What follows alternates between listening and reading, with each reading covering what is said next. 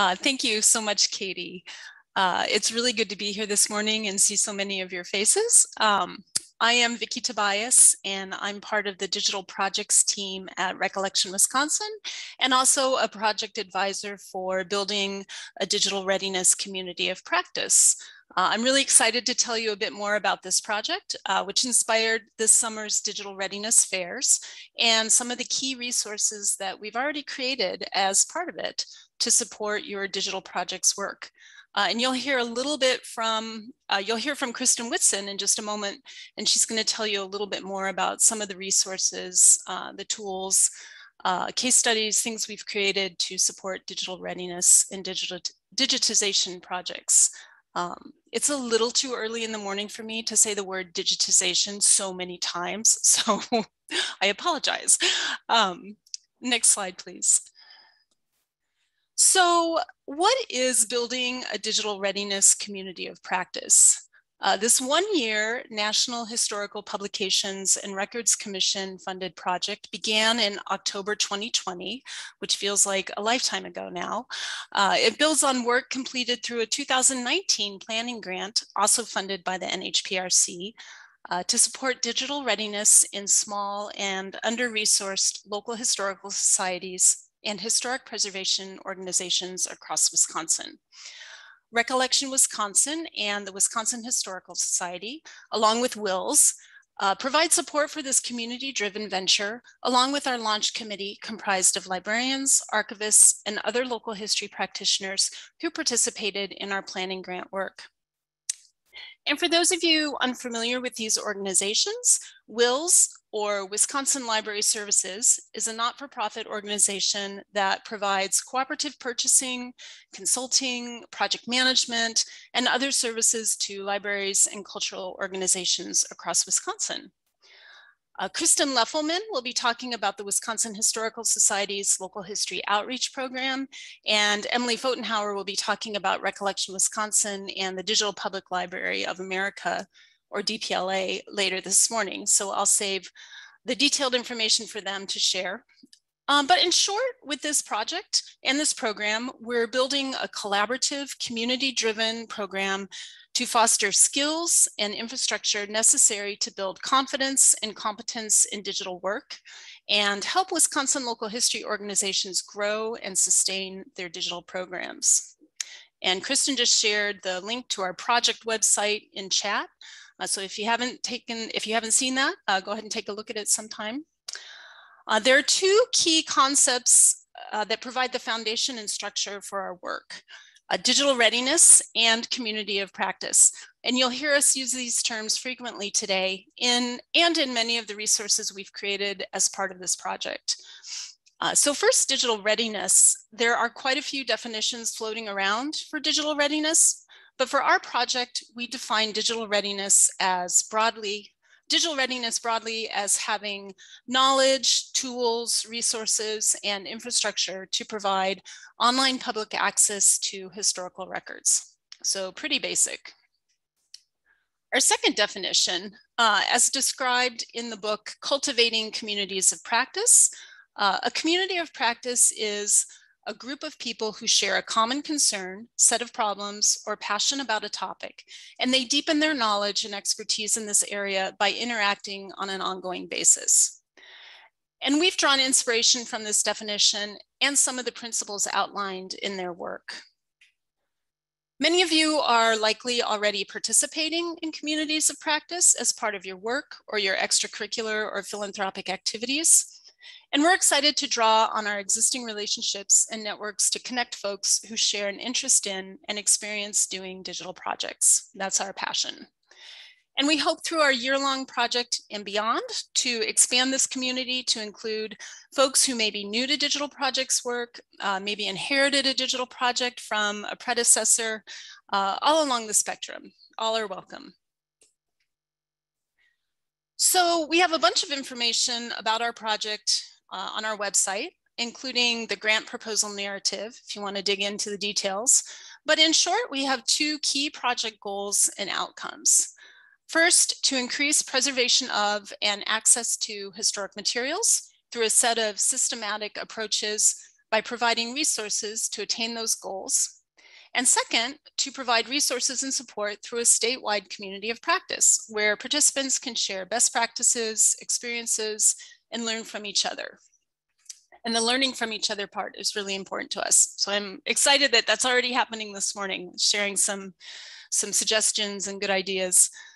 Some additional benefits and project outcomes include systems and procedures to guide digitization efforts and help organizations stay consistent in their work, increased opportunities for engagement with staff and volunteers, conversations with and connections to other organizations who are doing digital work, and an ability to confidently pursue digitization projects that support things like reference, exhibitions, programming, and digital storytelling.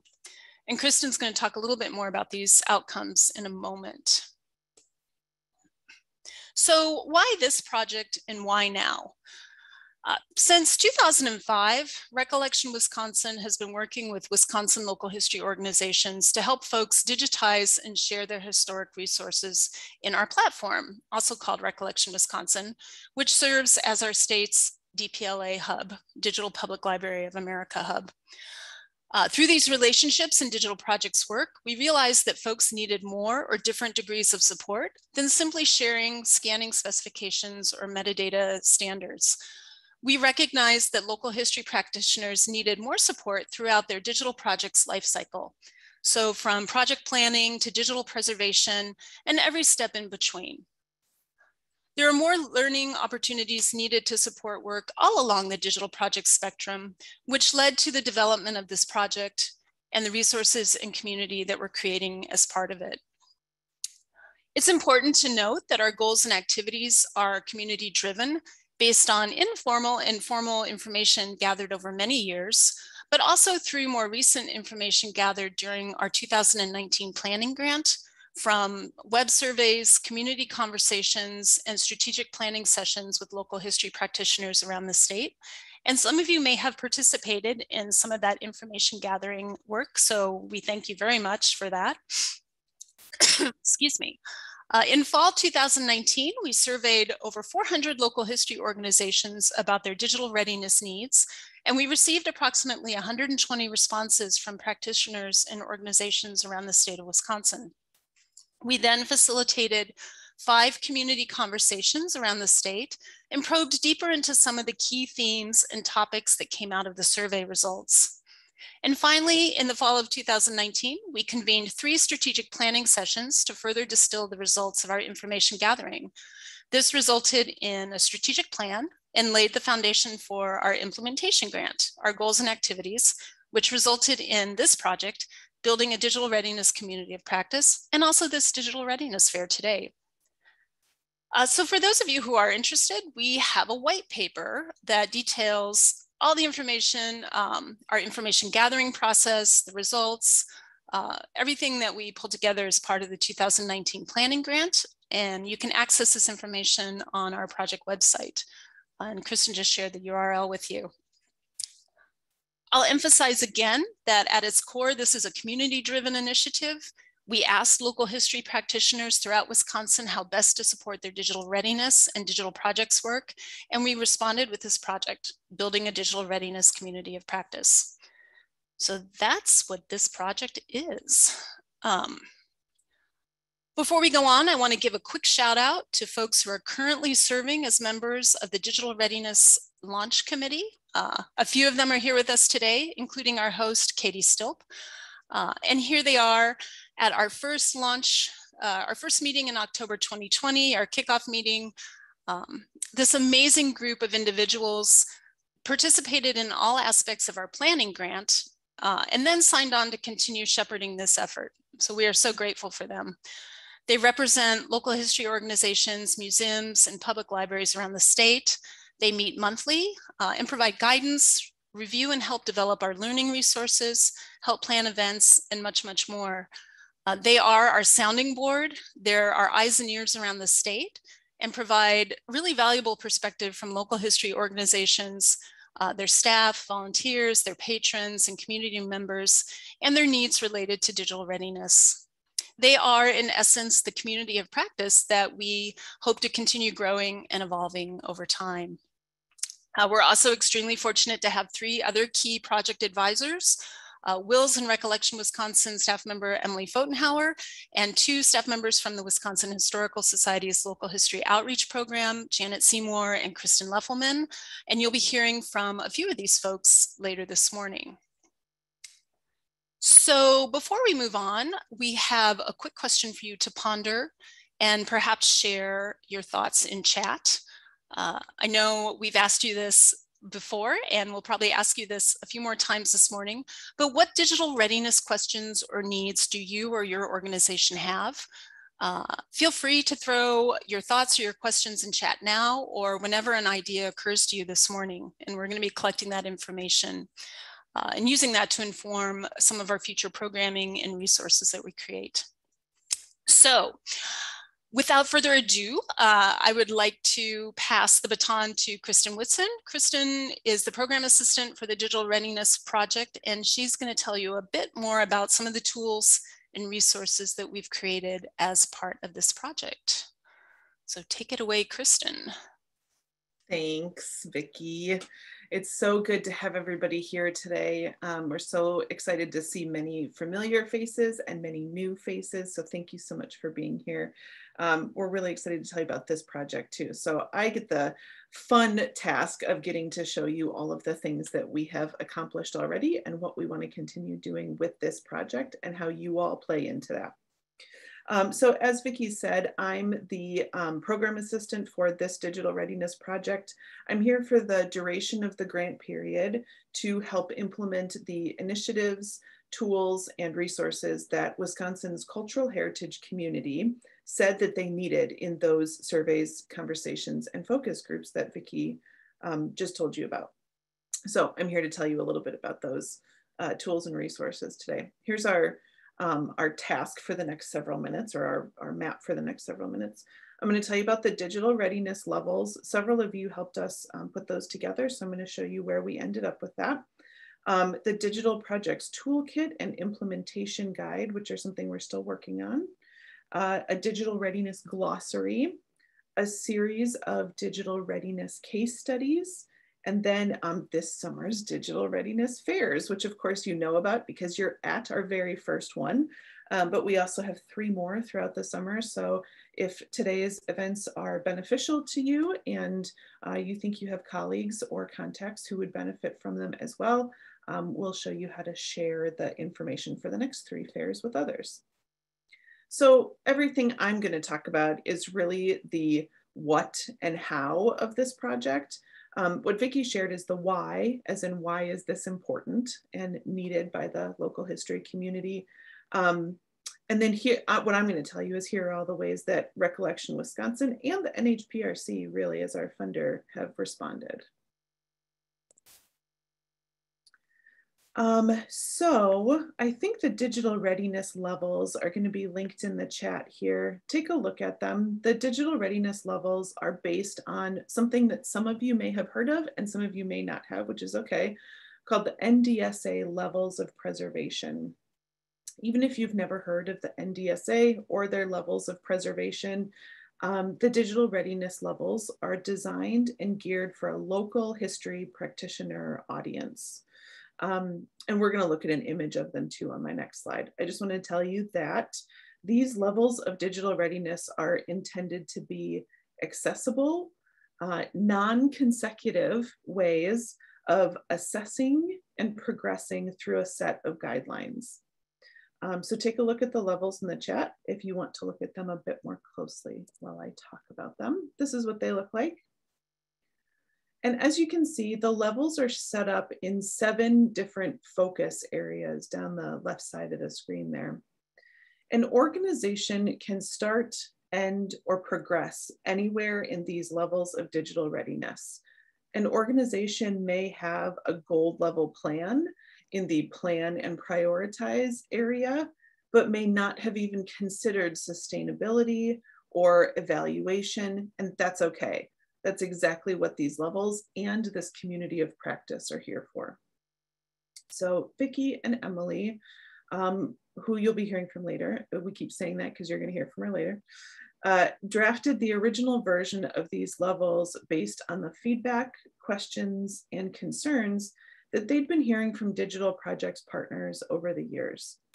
The original draft version was submitted with the grant proposal, and then once the grant was funded, we undertook a community feedback and revision process to revisit and reimagine these levels. Um, we sent the levels and some questions to a network of about 70 different digital projects experts, colleagues, and contacts, which includes several of you here today. So thank you very much. Um, if you hadn't already seen this, this is what all your hard work um, ended up uh, helping create. We also split our launch committee, the launch committee that Vicki had talked about, um, into work groups, and we had them focus on specifically a few of these functional areas each. Um, uh, let's see, soliciting and incorporating all of this feedback into the next version of the digital readiness levels was really essential to our community driven community of practice model. It was really effective, I have to say.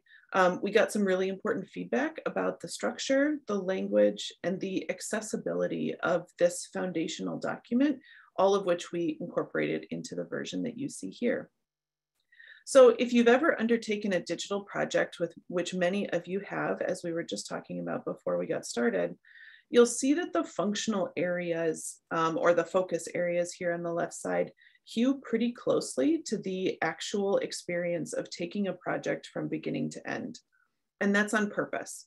The levels are intended to fit real life, everyday experiences of cultural heritage practitioners in small and under-resourced historical societies, which many of you are. And we're not done.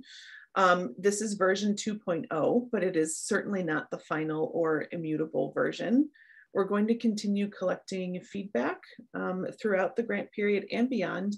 And we envision this being a living document um, subject to changes and revisions to best fit the needs of the community of practice.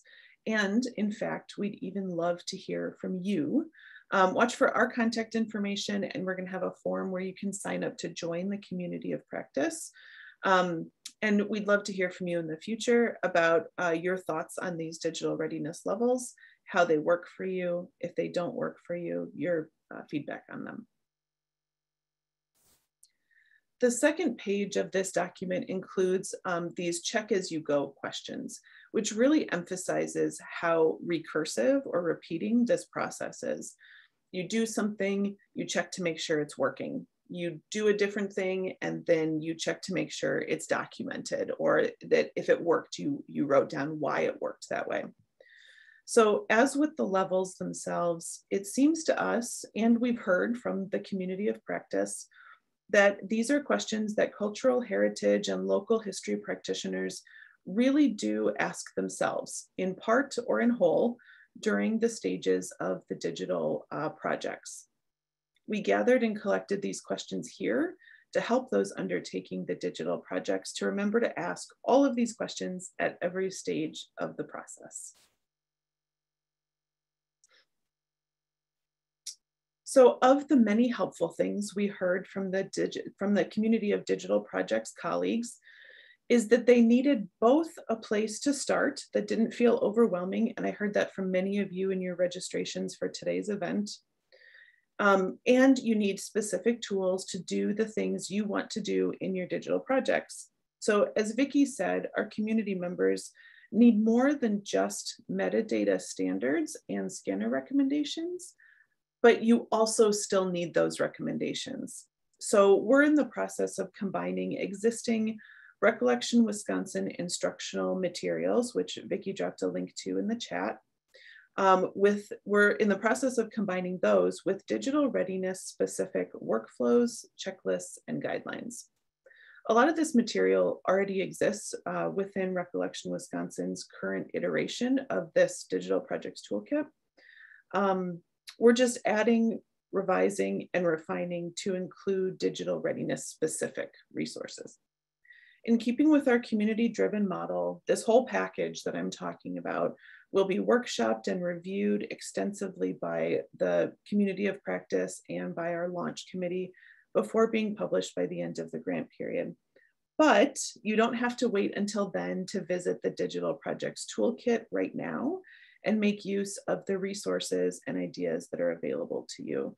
Um, some of you may not have even known that Recollection Wisconsin had a digital projects toolkit. So if you're new to it, please visit and uh, let us know what you think.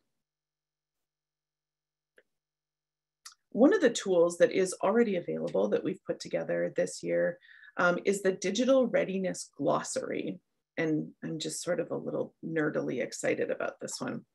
Um, among the other feedback, we heard that archives and digital collections jargon and acronyms can feel really off-putting or overwhelming to community members. Um, one way to address that is to define the commonly used terms and acronyms in an easily accessible way. So we developed this glossary, again, in coordination with community of practice members and our launch committee. We borrowed, with credit, of course, uh, definitions from many well-known resources. And oftentimes we even rewrote those definitions in, in more plain language to make it even more um, easy to use. We put the glossary into an Airtable. If any of you use Airtable, you'll know what that is, and embedded it on our website. This setup will make it easy to update the glossary with suggestions and revisions, but it's also available to print in a PDF for those of you who would prefer a printed version. Um, this is another tool we'd really love to keep collecting feedback on. There's a link on that page to email us with um, suggestions, additions, or changes. Um, we'd love to hear your thoughts and uh, what else you think should be in the glossary. This glossary might be helpful for you in your own work, like maybe not even digital projects, maybe just like regular archives work or local history work. So please feel free to visit, give it a bookmark, and consult it as often as you need to. Another tool that is available to you right now is a growing set of digital readiness case studies with local history organizations in Wisconsin. And several of you here in this call have participated in, in uh, the process of putting together case studies or your organization has been a feature of a case study. So thank you so much to those of you who have contributed in that way. The case studies have proven to be valuable resources that are really foundational to the way the community of practice is forming. So both the process of creating the case studies and the results of sharing those case studies have helped build community um, relationships and resources. Vicki and I have conducted interviews, sometimes multiple interviews, so thank you to those of you who are there for that, with cultural heritage organizations in Wisconsin who have undertaken various digital projects and have advice, lessons learned, and tips and tricks to share with the wider community. This is, the case studies are one way that we're responding to the community's uh, request for real life practical advice from folks who have done the work. Conducting the interviews also gives us the opportunity to make connections between organizations who may not have the bird's eye view that we have um, at Recollection Wisconsin. And then sharing those interviews puts the organizations into a spotlight so that others can learn from their experiences. It works really nicely all the way around. So check out our case studies so far on the website that um, Vicki put into the chat. Let's see here. Finally, digital readiness fairs, which you know about because you are here. Um, this is, these fairs are in many ways the culmination of what we have heard, learned, experienced, and taught. Um, there's three more fairs after this one today with different expert and practitioner sessions at each one.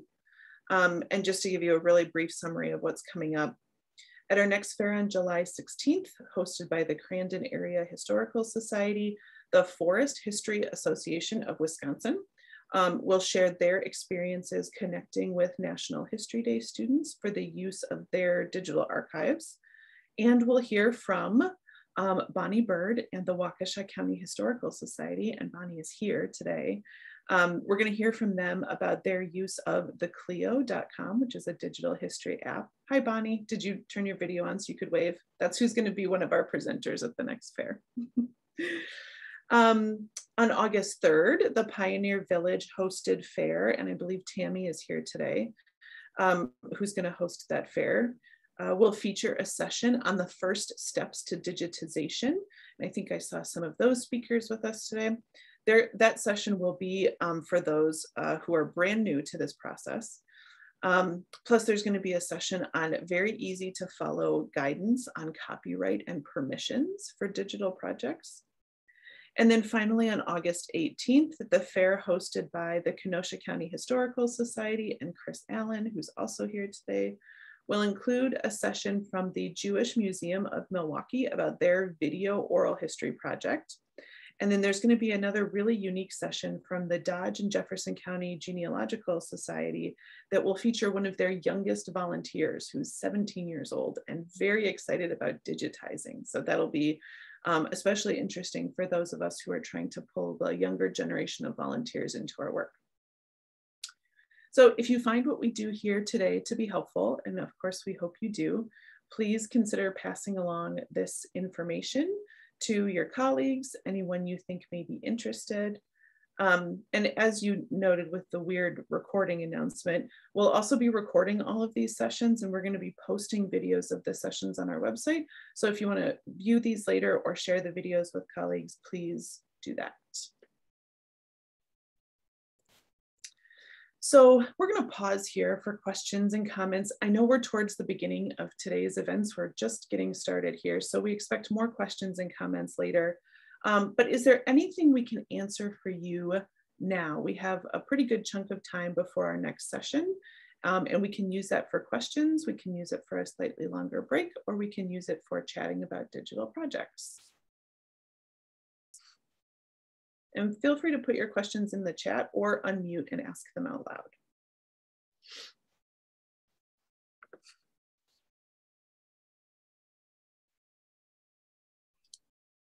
What about uh, for digitizing uh, yearbooks? Um, have you worked any with, uh, was it OCI? I think it's, it's corrections, was it um, it's in a, Oklahoma. Yeah, in Oklahoma. Yeah, Oklahoma Corrections. Interesting. I have not, but I have a feeling other people in this session have. Um, okay. Anybody who has worked on digitizing yearbooks, we'd love to hear from. Our library sent our yearbooks to them. And I wasn't really involved in the project, so I'm not exactly sure how it works. But if you go to their website, it's um, one of the things they do for um, training um, the prisoners is digitizing, and they do it at a, a, lower price than what commercial companies would. I'm actually going to mention them later. Um, it, it, might even be free for. It, it, yeah, groups. it is free for certain years. I think it's right now they did 1950 through 1988, I believe yeah. or, or free, and then other years they would charge for. Yeah. Definitely something to look into. Yeah. And I, I, I don't know if they digitize other things as well as yearbooks. Yeah. Um, I was just wondering uh, on how good the results were and I haven't looked at them. They got a disc back or more than one disc, I guess, back. Um, but okay. I haven't looked at them. Okay.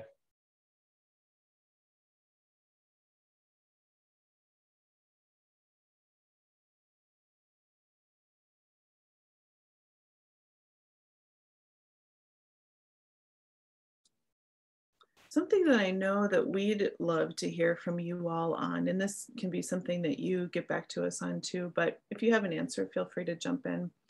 You know, a big part of this project is forming these communities of practice, which means, you know, who's the person in the next local historical society or the next county over who you call when you have a question, um, and how those um, networks and connections can be expanded into wider communities. Um, and how those communities are effective for you. So like, how do you communicate with those people and what's a good way to keep in touch with them? So does anybody have thoughts on how that works in your own um, work or volunteering?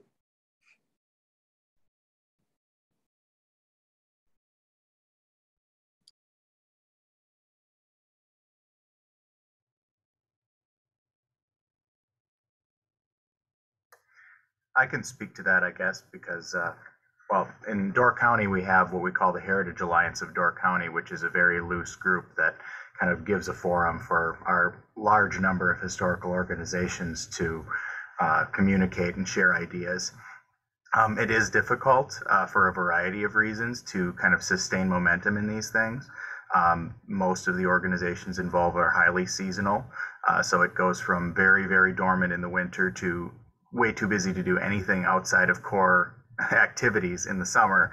Um, and we have kind of a, a, a, narrow band of time in the spring and the fall when there's just kind of that perfect balance where we can begin to talk about shared projects and joint projects. But that's historically been a big barrier to kind of doing more. Um, but we are, we do have at least avenues of communication. Um, you know, often, you know, just speaking kind of you know in a, in a loose way. I don't want to you know be be impolitic, but at, there tends to be sometimes there's been tension between groups in the past as well. Um, you know, we have a lot of organizations in a small space here in Door County, and that's kind of inevitable that pers- with personalities and whatnot. Um, and it just becomes a little bit difficult to balance that out at times. Um, but we do find, I mean, we're with all that said, um, it's very important to have it, and we're very glad to have it because you know at the when the time comes for a joint project, when all the stars align, we actually have kind of a mechanism to make that happen. Um, and most counties don't have you know 13, 14 historical societies to balance out either. Uh, so that's a model that I think is, has been successful for us, and I think it's going to be successful for us in the future. Um, it's something that you know it, it's probably the easiest lift is to just reach out to either your own county uh, and see who's out there within that space, or if you have, you know, a, a, collection of counties that have, you know, a certain mass of historical organizations forming some kind of just talking group, working group can often be really useful. Uh, so that's my two cents. Let me ask you a question, Steve. How do you all um, communicate or keep in touch with each other? Like, I know that's a pretty nitty gritty question, but do you have an email list serve? Do you have a, um, a newsletter you send out to each other? How do you all keep in touch with each other? So right now we meet as an organization, um, and that's the answer to your question has varied over the years. The organization has existed for about 15, 20 years now, and uh, that's you know it's been it's it's had widely varied um, approaches to that in that time. Um, in the past, uh, there would be monthly or bi-monthly, like in-person meetings. Actually, uh, the idea being that everyone in the group could go around and see what everyone else was doing. So each organization would host it uh, and and then move on, which I think was a great idea. Uh, our current iteration kind of fired up during COVID, so that wasn't possible. So now we meet over Zoom um, okay. when we can, uh, and that's that's sort of how we manage things. Got it. Thanks in uh, 2019, a few people from this part of the state uh, wanted to get people from all the little uh, museums in this whole area together and do some sort of coordination. So we've kind of ended up calling it the Three Rivers um, history, and it's Oconto, Marinette, Forest, uh, Florence and uh, Menominee, Michigan. I think that's all of us. And there's lots of little museums. None of us have resources to do a lot, but we thought we could at least like promote each other and, and like have a brochure that would tell about all of the different ones and maybe like have some sort of um, passport kind of thing where they're all listed and you go to all of them and you get them stamped and you know that sort of thing so just to promote each other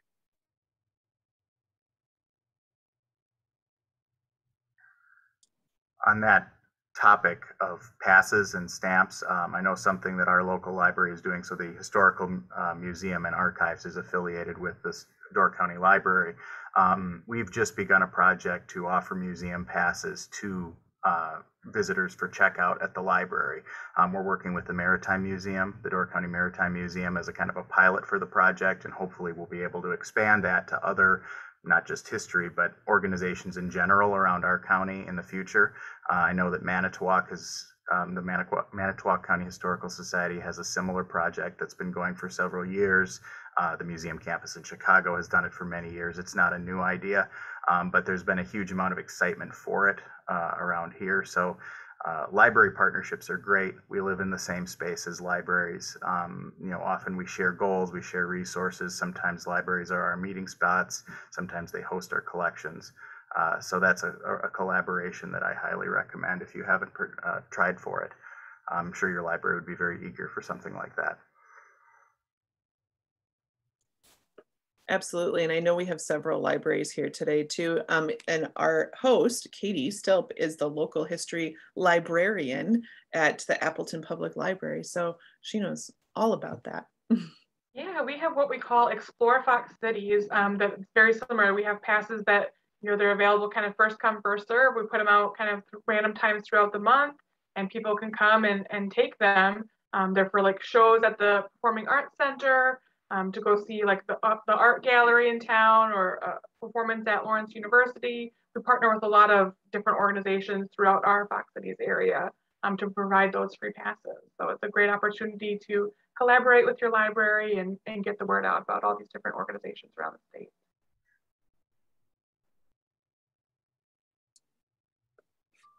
And really, some of this is um, closely related to or an outgrowth of the Wisconsin Historical Society's local history effort, as Janet just mentioned in the chat. Um, there's similar efforts going on throughout the state. So, um, you know, a big part of this project, so just to sort of wrap it up into a bow on the community of practice question um, is that we really want to encourage you all to reach out to the neighbor, whoever the neighbor is, um, and uh, and then more neighbors, and form those connections that will be helpful for you and supportive um, of your projects um, in those maybe rare times that you actually have time to connect with each other and uh, and support each other's projects. Um, we got a great question in the chat from Nancy about suggestions on, and we'd love to hear from you too. So I should say that a big part of what we want to do today between sessions and during question and answer periods is that we, you know, Vicki, I, Emily might be able to answer some questions for you, but we want you to answer questions for each other too. So Nancy's question, any suggestions on recruiting community members to be involved in digitizing resources and Jody, if you're here, I know you have some answers on this too, because we talked about it. Um, board members, for the most part, are older and not adept at technology. Um, some who are a little younger who are still working. So how do we recruit folks to spearhead and be involved in digitizing resources? That's a great question, Nancy. Anybody have some thoughts on that? Or what's worked for your organization? I want to suggest you go call your local Girl Scout council. They have high school girls who can do this as part of their gold award. They can do it just for service hours, but that's a good resource. Kids learn how to digitize things all the time. That's a great idea. And we have been delighted to see several people from Girl Scouts of America signed up for these digital readiness fairs. So we're so excited that you're here. Thank you. And we have questions about merit badges and how we can help partner with um, Girl Scouts who need uh, service hours in uh, local history settings. So we'd love to talk about that some more. Good.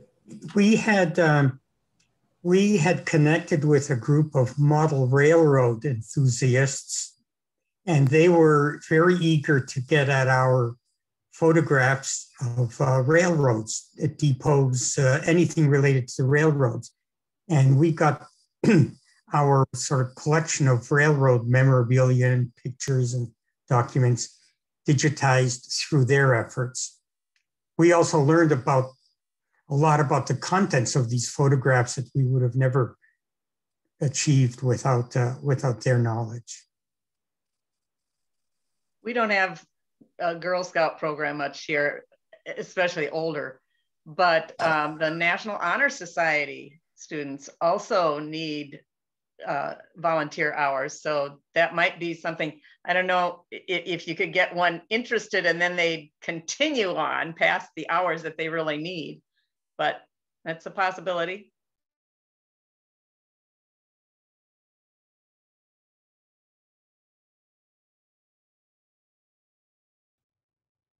I think there's a broader kind of thing coming out here about selling digitization. I think we often think of it as being a very, very unattractive thing to do and hard to sell to people because it's, you know, it's tedious and so forth. But, uh, you know, what we found is that it's it's very appealing to certain people, and it, it can be extremely appealing to interested people in a way that you would never expect, or to demographics that you would never expect. We had a high school volunteer who actually approached us uh, completely on her own initiative to produce digital content for us during the pandemic.